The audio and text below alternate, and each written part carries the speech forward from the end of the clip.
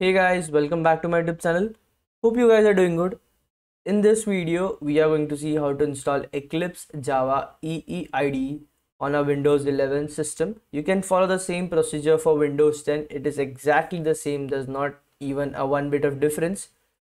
So why do we use Eclipse EE? There is also a basic Eclipse IDE for Java developers, but it does not have pre-installed plugins that we need to develop a complete software with Java. Whereas Java Eclipse Enterprise Edition is the most recommended version of Eclipse IDE if you're a Java developer who wants to develop complete application in Java, right? So that's what we are going to see how to install that. Before installing Eclipse EE on our system, we need one thing, one requirement is there. That is we need to have Java JDK installed on a system. So let's check if you have Java installed on a system or not. How can you do that? Just go to the start button and click on C, uh, just type out CMD, that is command prompt. And here just type out this command that says Java dash version. Okay, if you get something that looks like this, it's good. The version might be different. If it is a lower version, update it to 8. I'm using Java version Java JDK 8 or 1.8 because it is the most stable one right the latest versions are 19 and 17 but i prefer using this because it's a stable version if you're getting something like this you're good to go. But if you're getting something that says java is not recognized as an internal or external command it basically means that java is not installed on your system. So if you want to find out or if you want to know a step-by-step -step guide on how to install java on your system click on the i button or visit the link in the description. You watch that video install java jdk on your system and then come back and continue in this video. Let's go back to our browser and here i'll just basically search for eclipse java ee right so this is the site that i'm getting. I'll click on this. And here you can see it says that a newer release is available. So i'll just click here because we want the latest version. So you can see there are different types of IDEs. This is the basic one that I was talking about, but it does not have all the uh, plugins that we need. And this is the one that we want to use, right? Java Enterprise Web for uh, Java and web developers. This is the one that we'll go, we are going to use, which is 516 MB in size. You can also check out other uh, support for IDE for C++ developers, for PHP developers. You can check out if you want. So let's just go over here and you can see an option over here called as Windows x86 and 64 so we'll click on this and this will lead us to a page where we can you know download it now no matter how fast internet you have the problem with eclipse or this particular site is that it downloads very slow really slow. Even if your internet is very fast it will download really slowly. So don't worry it's not a problem from your side. It's this mirror that they're offering us. You can change the mirror and try to see if the download is fast but generally uh, for how long I've coding, I've been downloading Eclipse and I've seen that it does not down download faster, right? So I'll just click on download, but uh, I have already downloaded it to save us some time because it takes a long time.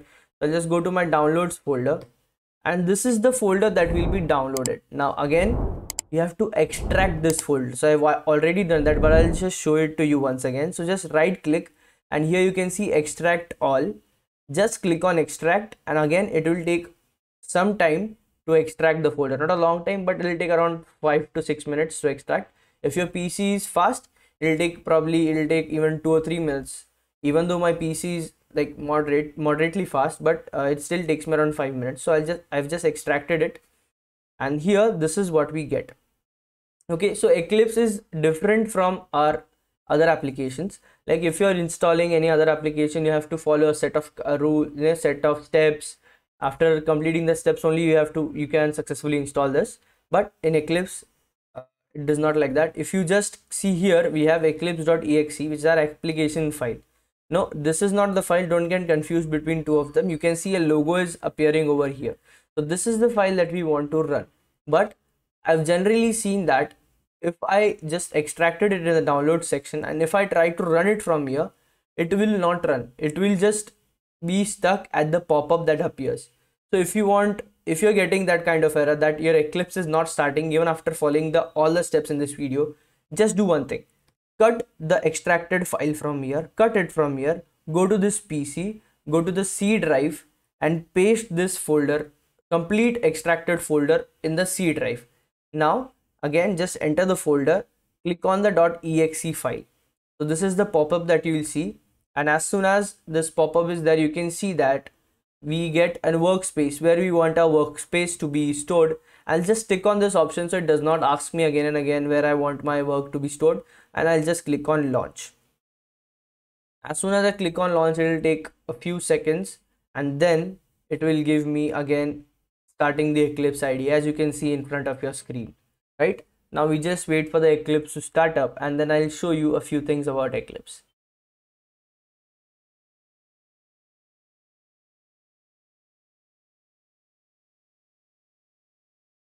okay now here you can see that eclipse has started. This is the welcome screen that you're seeing.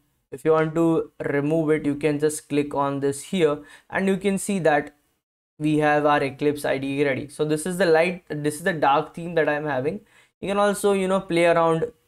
You can if you now again there's a whole different thing if you want to customize your eclipse to look much much better than this okay? So there is one more video that i can create on how you can you know customize eclipse and make it easier and uh, easier for you to access all the things and easier for you to you know understand all the functionalities. So mention in the comment section if you want me to create a video on that as well. And you can also change your appearances whatever you want to do what not. You can you know whatever you want. I, I can just make another video. Just mention in the comments if you want it or not so this is basically our eclipse ide you don't have to install it as such. This is the one. You can just you know now again it is stored in this folder. So it does not mean that you have to run come to this folder and again run this file. So what you can do is you can see that the icon of the eclipse IE on your uh, taskbar. So you just right click on it and click pin to taskbar. Okay so it will be pinned to taskbar. And even if i close it from here so i've pinned this to my taskbar I've closed Eclipse and again I have the logo of that Eclipse on my taskbar. If I click on that logo again you can see that Eclipse ID has started up. So you need not need to come back to this folder and then start and then click on this and then Eclipse will start. You can just pin it to your taskbar and you can just start your Eclipse ID from there and here on you can just create your new folders, your new projects, whichever you want to do, you're ready to go. So I'll just create a Java project just for the sake of it, just for showing you how it's done. Okay so i just created a new here over here the new java project. Now i'll just name it as first project. Okay so this cannot be the project name so i'll just name it as first project because i use hyphen. Now see this is the one i was talking about. So it is automatically saying that java 17 because it is the latest version. But i'm using java 1.8 so i'll select java 1.8 because this is the JDK that I have installed on my system. So make sure that you uh, see that you have selected the proper option or not. And I'll just leave the rest of it as default and click on next. And okay, this is the source file that is there and I'll just click on finish. I'll just click on no for now. And now this is our first project that has opened up inside the SRC folder. Now here it will take some time. If you are opening up eclipse for the first time and installing it for the first time it, it will take some time you know to load up all the things. But here you can probably just click right click on uh, src go to new select a class and i'll just name the class as hello right? And i'll just include public static void main argument in it this method in it right? And now here you can see we have hello.java and here I'll just write something to see if our Eclipse installation is successful or if we are getting any error. System.out.println so that's what I'll write. You can even you know customize shortcuts s out. If I just write s out then it will print out. But that's for a later video if you guys want that. I can show you all the shortcuts and plugins and how to customize Eclipse. Just mention in the comments if you want that video. Okay so I've written hello world. And now I'll just right click here and I'll try to run as and run as a Java application. Let's try. You can see over here the console. If my console is visible, you can see hello world has been printed. So that means that we have not encountered any error, right? And our Eclipse IDE has been successfully installed. So go away and start coding in Java, start doing things that excite you into coding, right? So that's it for this video. I'll see you guys in the next video.